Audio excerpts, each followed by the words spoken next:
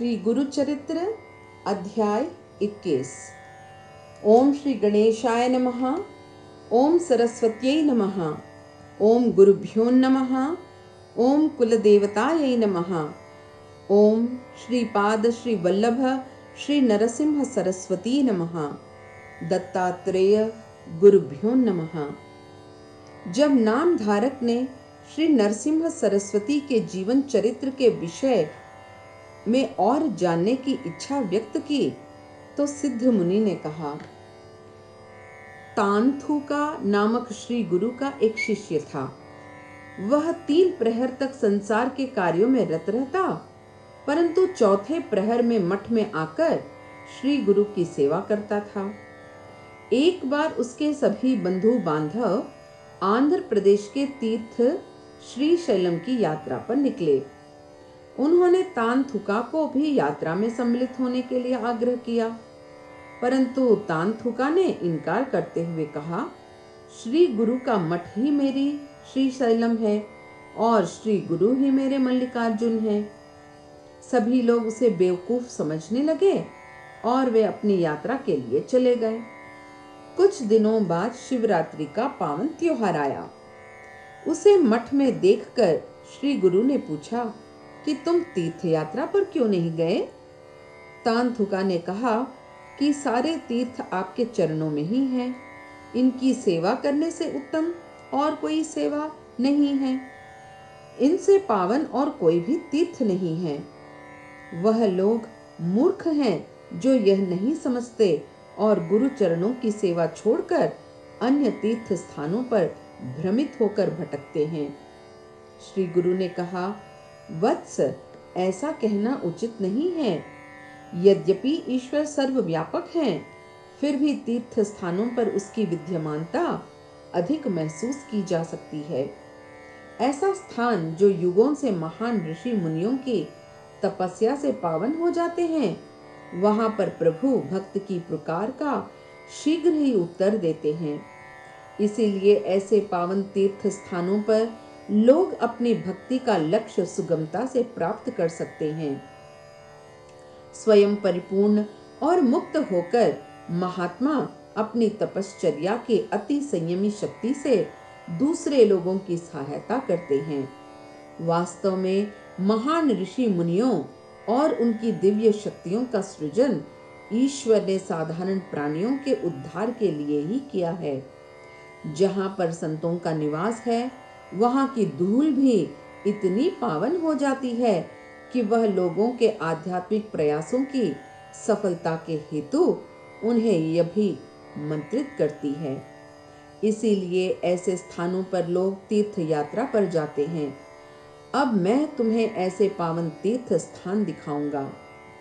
तब श्री गुरु ने तान थुका को अपनी पादुकाएँ पहनाई और एक क्षण के लिए आँखें बंद करने का आदेश दिया। अगले ही क्षण तांथुका ने देखा कि श्री गुरु की यौगिक शक्ति द्वारा वह दोनों श्री शैलम पहुँच गए। श्री गुरु ने तांथुका से कहा कि वह इस पावन तीर्थ स्थान के दर्शन कर ले और विधि पूर्वक सभी धार्मिक कृत्यों, जैसे कि क्षौर और स्नान करके उस स्थान के देवता भगवान मल्लिकार्जुन के दर्शन कर ले। वहाँ पर उसके बंधु बांधव मिले और आश्चर्यचकित होकर कहने लगे, जब हमने तुम्हें साथ चलने को कहा था, तब तो तुमने इनकार कर दिया। और तुम हमसे भी पहले यहाँ कैसे पहुँच गए? तानथुका ने कहा कि यह श्री गुरु की कृपा से ही संभव हो पाया है। परंतु उसके बंधु इस बात को न माने। जब तानथुका ने मंदिर में भगवान मल्लिकार्जुन के दर्शन किए तो वहाँ पर शिवलिंग में उसे श्री गुरु का ही साक्षात्कार हुआ। अपनी विधि पूर्ण पूजा समाप्त करने के पश्चात उसने श्री गुरु के पास लौटकर कहा कि स्वामी, इस पावन स्थान पर भी केवल आपका ही वास है। लोग आपके वास्तविक स्वरूप को पहचानते नहीं हैं। इसलिए अपनी मूढ़ता और अज्ञानता में ईश्वर को यहाँ वहाँ खोजते रहते हैं।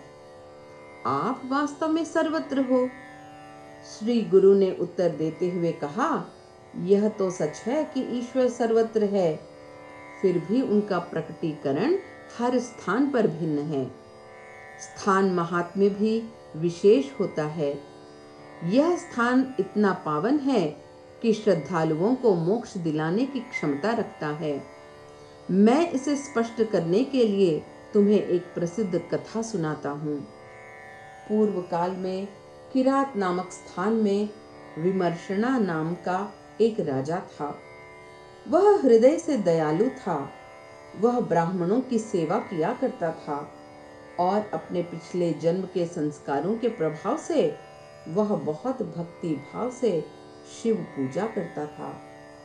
परंतु उसी जन्म के कुछ कुकर्मों के कारण वह उन सभी वस्तुओं का सेवन करता था, जो धर्म शास्त्रों द्वारा निषेधात्मक घोषित की गई है। और वह चरित्रहीन और व्यभिचारी था। एक दिन उसकी पत्नी ने उससे पूछा, स्वामी, आप में इतनी बुराइयाँ होते हुए भी आप में भगवान शिव के प्रति इतनी अधिक श्रद्धा कैसे हुई? राजा ने उत्तर दिया, अपने पिछले एक जन्म में पंपा नामक नगरी में मैं एक कुत्ता था। एक दिन पावन शिवरात्रि के दिन मैं वहाँ के शिव मंदिर में पहुँचा। वहाँ पर जो लोग पूजा अर्चना के लिए एकत्रित हुए थे, उन्होंने मुझे बहुत बुरी तरह से पीटा और मैंने वहीं पर अपने प्राण त्याग दिए।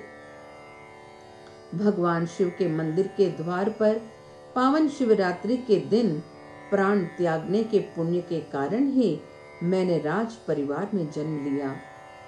तुम जो मेरे दुराचार को देखती हो, उसका कारण यह है कि मैं पिछले जन्म में कुत्ता था और जानवर के लक्षण अभी भी सूक्ष्म रूप में मुझमें विद्यमान हैं।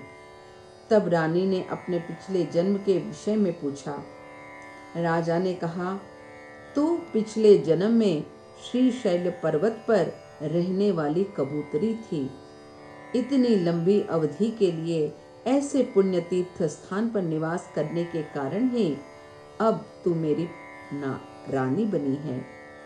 तब रानी ने अपने दोनों अगले जन्मों के विषय में पूछा। राजा ने कहा, अगले जन्म में मैं सिंधु देश का राजा बनूँगा और तुम्हारा जन्म संजय देश में राज घराने में होगा और तू मेरी आर्या बनेगी।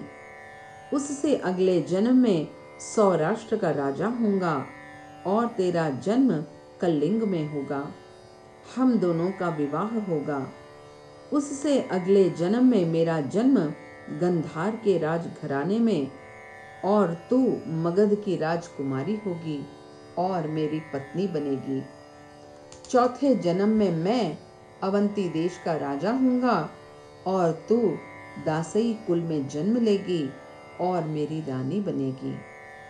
पाँचवें जन्म में मैं अनर्थ देश का राजा बनूँगा और तू ययाति की कन्या होगी और मेरी पत्नी बनेगी। छठे जन्म में मैं पांडव देश का राजा बनूँगा। मैं अति सुंदर, सर्वगुण संपन्न और ज्ञानी बनूँगा और तुम विदर्भ कुल में पैदा होगी और अत्यंत रूपवती होगी। हमारा फिर विवाह होगा। इस जन्म में मैं बहुत दिनों तक राज सुखों का भोग करूँगा। सातवें जन्म में ऋषि अगस्त्य की कृपा से हमें मुक्ति प्राप्त होगी। इस प्रकार जानवर और पक्षी भी ईश्वर कृपा से उच्च योनियों में जन्म ले सकते हैं। उनका भी उद्धार हो सकता है। इसलिए ईश्वर की शरण में जाना चाहिए और उनकी भक्ति करनी चाहिए, क्योंकि उनकी कृपा हमें उच्च स्थितियों से नीचे की ओर गिरने से रक्षा करती है। फिर श्री गुरु तांथुका को संगम के पास गाणगापुर उसी रहस्यमयी तरीके से वापस ले गए और उसने अपने गाँव में जाने का आदेश दिया। गाँव के कुछ और लोग उनके साथ हो लिए और मार्ग में उन्होंने उससे पूछा कि उसने अपना सिर क्यों मुंडवाया हुआ है। तान थुका ने उन्हें बताया कि कैसे श्री गुरु रहस्यपूर्ण तरीके से उसे श्री साइलम लेके गए और वहाँ की परंपरा अनुसार उसने नदी पर अपने बाल मुंडवा लिए। अपने साथियों ने उसकी बात पर विश्वास नहीं किया और उसकी खिल्ली उड़ाते हुए कहा, यह आदमी परियों की कहानी बुन रहा है। अभी कुछ ही घंटे पहले यहाँ था और अब कह रहा है कि श्री शैलम भी होया है।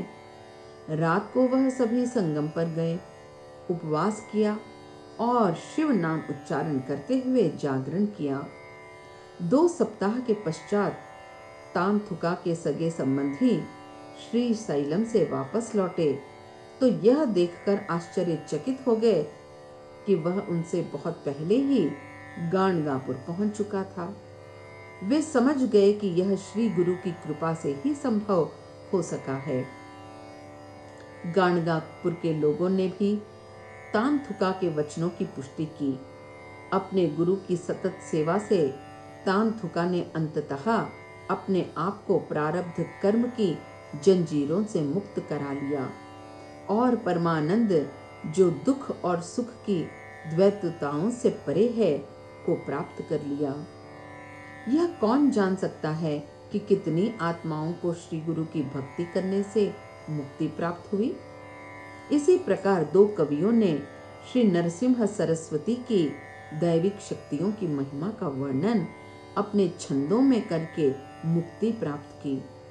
प्रभु की दैविक लीलाएँ असंख्य हैं और उन्हें कोई भी पूर्णतः जान नहीं सकता।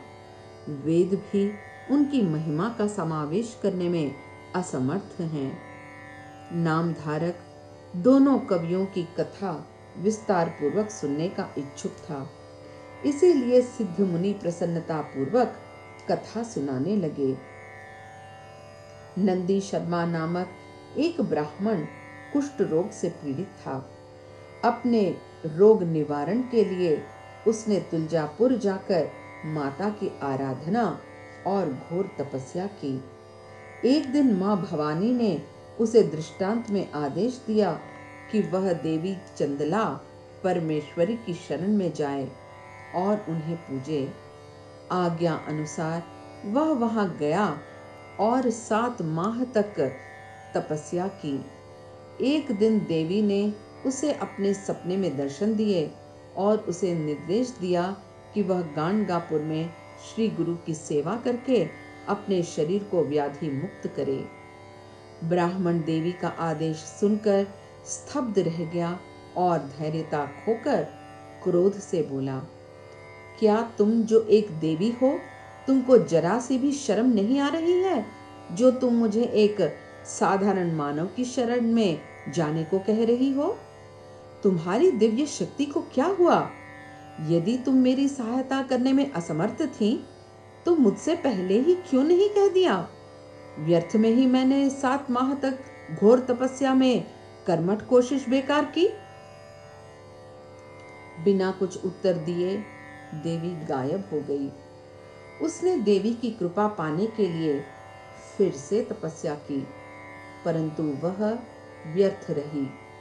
आखिरकार कोई और मार्ग न नज़र आते हुए वह गाणगापुर उसी सन्यासी श्री गुरु की खोज में निकला, जिनकी शरण में जाने के लिए देवी ने निर्देश दिया था। बहुत अद्भुत बात यह थी कि वहाँ पर गाणगापुर में लोगों से बार बार पूछने पर भी किसी ने भी उसे श्री गुरु तक पहुँचने का रास्ता नहीं दिखाया। आखिरकार एक वृद्ध व्यक्ति ने उसे बताया कि श्री गुरु संगम पर हैं। कल शिवरात्रि का उपवास था और आज पारायण के लिए यहाँ आएँगे। इतने में ही श्री गुरु के कुछ स्थानीय भक्तों ने श्री गुरु को नंदी शर्मा के आने की खबर दे दी। उसी समय श्री गुरु ने नंदी शर्मा को बुलावा भेजा और उससे पूछा, तुम यहाँ पर अनेकों देवियों को छोड़कर एक साधारण मानव की सेवा करने क्यों आए हो? तुम्हारे कुष्ठ रोग का निवारण एक साधारण मानव नहीं कर सकता। नंदी शर्मा को उसी समय ज्ञात हो गया कि श्री गुरु बहुत उच्च कोटि के संत हैं और स्वयं नारायण का ही रूप है। उसने प्रार्थना की, प्रभु, मेरी भूल को क्षमा कर दीजिए। मैं मंदबुद्धि, संशयी और घोर पापी हूँ। दूसरी ओर आप अपने भक्तों के लिए करुणा और प्रेम के सागर हैं। मैं आपकी शरण में हूँ, क्योंकि मेरी सहायता करने वाला और कोई भी नहीं है। विवाह के तुरंत बाद मुझे यह व्याधि हुई। मेरी पत्नी और यहाँ तक कि मेरे माता पिता ने भी मेरा त्याग कर दिया। देवताओं ने भी मेरी प्रार्थनाओं का जवाब नहीं दिया। ऐसा दुख भरा जीवन व्यतीत करने से तो बेहतर है कि मैं प्राण त्याग के इस जीवन का अंत कर दूँ। हे परम आत्मा, यदि आप भी मेरा मुखावलोकन नहीं करना चाहते और मुझसे मुँह फेर लोगे तो मैं प्राण त्यागने के लिए मजबूर हो जाऊँगा कृपालु गुरु को उसकी दशा पर दया आ गई और उन्होंने कहा, वत्स, डरो मत तुम्हारी यह व्याधि तुम्हारे पूर्व जन्मों के कर्मों का फल है, जो कि केवल धैर्य पूर्वक सहन करने से ही नष्ट हो सकता है। बेशक तुम में मेरे प्रति जो विश्वास अभी उत्पन्न हुआ है, वह इसलिए हुआ है क्योंकि तुम्हारे कुकर्मों के फल समाप्त हो गए हैं। अतः तुम पवित्र संगम पर स्नान करके आओ। श्री गुरु ने अपने दूसरे शिष्य सोमनाथ को कहा, नंदी शर्मा को संगम पर स्नान कराओ और अश्वत्थ की परिक्रमा और पूजा विधि पूर्वक कराकर वापस यहाँ ले आओ। श्री गुरु के आदेश अनुसार संगम पर स्नान और पूजा करके नंदी शर्मा वापस श्री गुरु के पास लौट आया और उन्हें साष्टांग प्रणाम किया। श्री गुरु ने प्रेम पूर्वक उसे उठाया और कहा, मेरे वत्स, नंदी शर्मा, खड़े होकर जरा अपने शरीर को तो देखो। नंदी शर्मा यह देखकर विस्मित हो गया कि उसका पूरा शरीर रोग मुक्त हो गया था। परंतु केवल एक छोटा सा धब्बा रह गया था। उसने श्री गुरु से पूछा कि वह धब्बा क्यों रह गया? श्री गुरु ने कहा, तुम्हारे मन में मेरे प्रति कुछ संदेह था, इसलिए रोग का वह छोटा सा धब्बा बच गया। नंदी शर्मा ने श्री गुरु के चरणों में प्रणाम किया और तत्परता से प्रार्थना की। हे सर्वोच्च प्रभु, क्या यह संभव है कि एक व्यक्ति अपनी भूल से जल समझकर अमृत का पान करे और फिर भी उसकी मृत्यु हो जाए? क्या अग्नि जलना बंद कर देती है? यदि अज्ञानता से उसे कोई व्यक्ति स्पर्श कर लेता है? श्री नरसिम्हा सरस्वती ने कहा, सब कुछ व्यक्ति के विश्वास से ही होता है। यदि मनुष्य अपने ही भूल से अपनी दृष्टि खो दे तो क्या वह सूर्य को देख सकेगा? तुम्हें पहले संदेह था कि गुरु सेवा से कुछ भी प्राप्त नहीं किया जा सकता। इसीलिए यह धब्बा बच गया है। फिर भी उसे नष्ट करने का एक उपाय है। तुम मेरी स्तुति करते हुए वेदों की शिक्षा के आधार पर एक कविता करो, जिसका सार यह हो कि मैं साधारण मानव नहीं हूँ। इस तरह तुम्हें अपने लक्ष्य की प्राप्ति होगी। नंदी शर्मा आशंका से थरथरा उठा और असहाय होकर कहने लगा, हे नाथ, आप तो सब जीवों के हृदयों में विराजमान हो। मैं आपसे क्या कहूँ? मैं तो लिखना, पढ़ना भी नहीं जानता। मैं कैसे कविता करूँ? मुझे कुछ और आज्ञा दें, जिसे पूरा करने में मैं समर्थ हो सकूँ? श्री गुरु ने कहा, वत्स, जैसे हाथी के दांत जो बाहर की तरफ़ निकले हुए हैं पीछे नहीं खींचे जा सकते। उसी प्रकार मेरे मुख से निकले हुए शब्द वापस नहीं लिए जा सकते। तुम्हें जैसा कहा गया है, वैसा ही करो। तुरंत ही नंदी शर्मा में ज्ञान और काव्य क्षमता जागृत हो गई। श्री गुरु के प्रति प्रेम और श्रद्धा उसके हृदय में भर गई और थर थराती हुई आवाज़ में वह गाने लगा। हे परमात्मा आप ही सत्य हो, आप ही करता हो, आप ही सृष्टि के पोषण करता हो और आप ही अनंत साक्षी हो। हे सर्व हृदय वासाया आपने ही प्रकृति के तीन गुणों से सभी प्राणियों का प्रक्षेपण किया है और इसी प्रकार सभी वस्तुओं, प्राणियों, जीव और निर्जीव से पूर्ण सृष्टि का निर्माण किया है। सभी संवेदनशील प्राणियों में केवल मनुष्य ही ऐसा है जो ज्ञान प्राप्त करने के योग्य है। परंतु वह भी आपकी माया की शक्ति से भ्रमित हो जाता है। वह प्रयोजनों के जाल में फंस जाता है और अपने पापों का फल भुगतने हेतु नरक की विविधताओं में घूमता रहता है। वह अपने आप को इस विशाल ब्रह्मांडीय युगों में भी नहीं स्वतंत्र करा सकता। यदि उसकी आत्मा अस्तित्व के उच्च स्तरों से अपने कच्चे कर्मों के प्रभाव से गुजरे तो भी उनका प्रभाव समाप्त होने पर वह फिर से चंद्र के परिमंडल में आ जाती है। यहाँ पर वह भोजन में मिल जाती है और वीर का रूप लेती है। अपने भावी माता पिता के दाम्पत्य मूलक मिलन के समय अपनी भावी माता के अंडाशय श्रावण में मिलकर उसकी कोख में ठहर जाता है।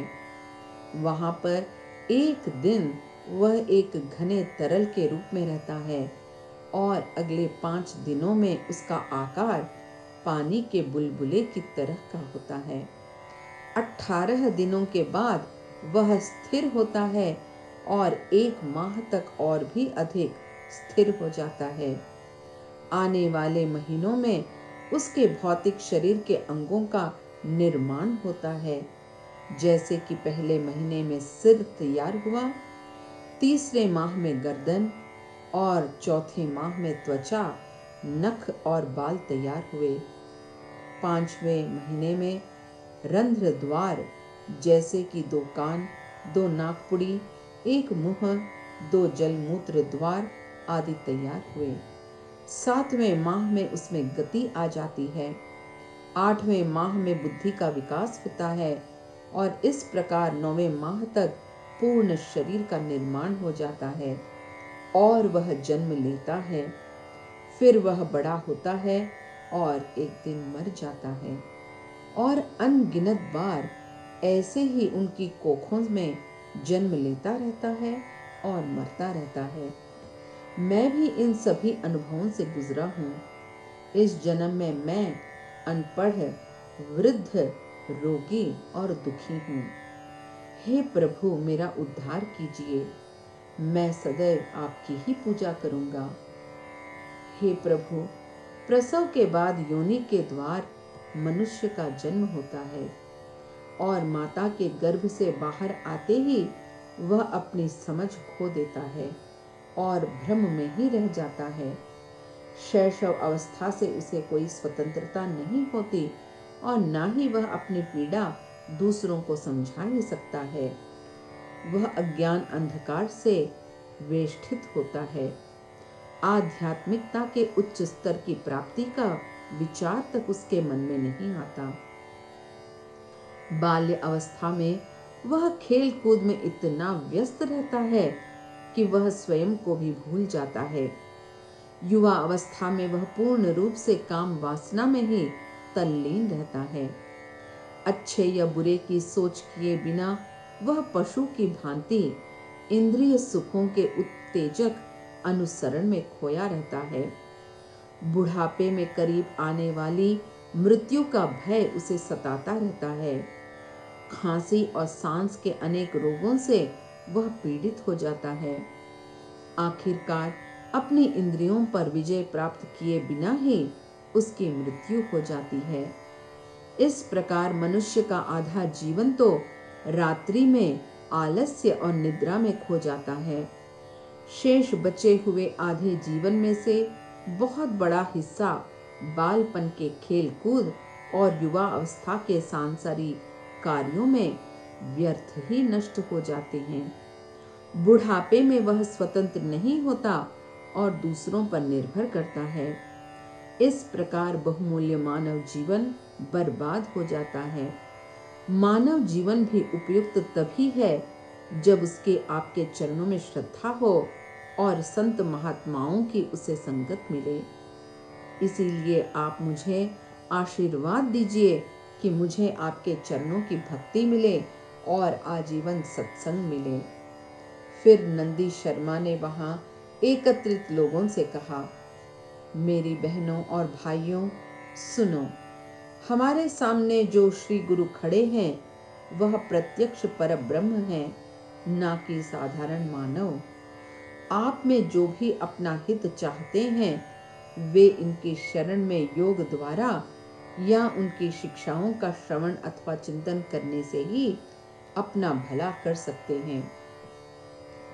प्रभु, सदैव ही उन लोगों के पास होते हैं जिनकी उनमें श्रद्धा होती है, क्योंकि ईश्वर को केवल विश्वास से ही जीता जा सकता है। ब्राह्मण फिर श्री गुरु की ओर देखकर बोला, हे पर ब्रह्मा आपकी स्तुति करने में तो वेद भी असमर्थ हैं। आपकी लीलाएँ असंख्य हैं और वाक शक्ति और बुद्धि की समझ से परे है। अतः इनका बखान कोई नहीं कर सकता। ऐसा कहकर जब उसने श्री गुरु के चरणों में श्रद्धा से प्रणाम किया तो उसने देखा कि उसके शरीर से कुष्ठ का धब्बा पूर्ण रूप से मिट चुका था। फिर गुरु के अनुदेश अनुसार अपनी पत्नी सहित वह गंगापुर में ही दीर्घ काल तक रहा और श्री गुरु की दैविक लीलाओं को लिपिबद्ध करता रहा। एक दिन नंदी शर्मा ने लिखे हुए कुछ छंद नर केसरी नामक दूसरे कवि को सुनाए। नर केसरी भगवान शिव का अनंत भक्त था और उसका यह विश्वास था कि केवल ईश्वर ही पूजा और आराधना का पात्र है। उसने यह व्रत धारण किया। हुआ था कि प्रतिदिन भगवान कलेश्वर की स्तुति में वह एक कविता लिखेगा। इसलिए उसे नंदी शर्मा के छंद पसंद तो आए, परंतु उसे यह बात अच्छी नहीं लगी कि उसने साधारण मानव अर्थात श्री गुरु की प्रशंसा सूर्य के समान की है। और उसने इस बात पर अपनी असहमति प्रकट की उस दिन जब भगवान कलेश्वर की पूजा के पश्चात वह उनके ध्यान में निमग्न था तो शिवलिंग में भगवान कलेश्वर के स्थान पर श्री गुरु प्रकट हुए और उसका उपहास करते हुए, हँसते हुए बोले, तुम्हारे भगवान कलेश्वर कहाँ हैं? नर केसरी ने जल्दी से अपना चिंतन समाप्त किया और श्री गुरु के दर्शनों के लिए जल्दी से गाणगापुर पहुँचा। वहाँ पर जैसे ही उसने श्री गुरु की महिमा का गुणगान करते हुए स्वयं रचित पाँच छंद गाने आरंभ किए तो श्री गुरु ने कहा, तुम परमात्मा को छोड़कर एक साधारण मानव की स्तुति क्यों करते हो? विस्मित होकर नर केसरी ने उत्तर दिया, प्रभु, मुझसे बहुत भूल हुई है। मैंने आपको साधारण मानव समझा मैं अज्ञानता के कारण आपके स्वरूप को पहचान नहीं सका। कृपया मुझे ज्ञान प्रदान करें। मेरे सारे पूर्व शुभ कर्म और तपस्या इसी क्षण फलित हुए हैं और मेरे ब्रह्म का नाश हो गया है। आप ही कलेश्वर हैं और आप ही त्रिमूर्ति का अवतार हैं। कृपया मुझे अपना शिष्य बना लीजिए। श्री गुरु उसकी श्रद्धा पर प्रसन्न होकर बोले, तुम अपने स्थान पर भगवान कलेश्वर की पूजा करते रहो। मैं ही उसी रूप में तुम्हारे घर पर हूँ। नरकेसरी ने कहा, मेरे प्रभु, अब मैं आपके प्रत्यक्ष चरण छोड़कर नहीं जा सकता। मुझे अपनी सेवा का सौभाग्य दीजिए। मैंने कोई तप या अनुष्ठान किए बिना ही आपको जो कि त्रिमूर्ति और भक्तों के लिए कामधेनु हैं, के दर्शन पाए। मैं आपके सब शिष्यों में हीनमय हूँ, इसीलिए मेरे निवेदन से उदासीन न होना। कृपालु नाथ ने उसे अपने शिष्य के रूप में स्वीकार कर लिया और उसे आत्मज्ञान प्रदान किया। इस प्रकार नरकेसरी ने भी लंबे समय तक श्री गुरु की लीलाओं पर काव्य रचना करते हुए उनकी सेवा की। इति अध्याय 21 श्री दत्ता गुरुवे नमः। श्रीपाद श्री वल्लभाय नमः। श्री नरसिंह सरस्वत्यै नमः।